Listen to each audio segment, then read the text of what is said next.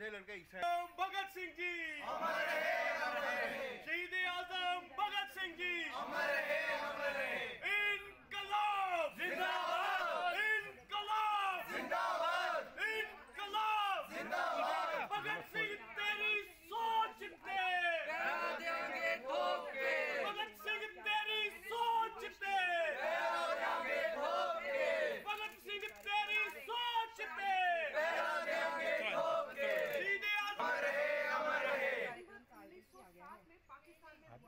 आज़म भगत सिंह जी भारत माता की भारत माता की शहीद आज़म भगत सिंह जी आज भगत सिंह जी का जो जन्म जयंती है, हम भगत सिंह जी को नमन करते हैं कोटि कोटि नमन करते हैं और यहाँ से संदेश देना चाहते हैं युवाओं को कि हमें भगत सिंह जी के दिखाए हुए रास्तों पे चलना है। हमें देश में जो जिस प्रकार से हालात है, उनसे मजबूती से लड़ना है। नशा जिस प्रकार से जम्मू कश्मीर में आप देखें, डीजीपी ने साहब ने भी कहा था कि नशा जो है, आतंकवाद से बड़ा जो है, मुद्दा जम्मू कश्मीर बन चुका है। हमने उस नशे की युवाओं को मिलकर नशे के खिलाफ लड़ाई लड़नी है।